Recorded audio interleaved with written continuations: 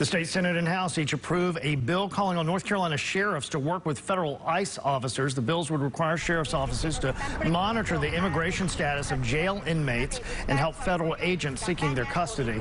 The bills are similar to a 2019 proposal that Cooper, Governor Roy Cooper, vetoed. Several North Carolina sheriffs campaign on that issue of not working with ICE, including Wake County Sheriff Gerald Baker.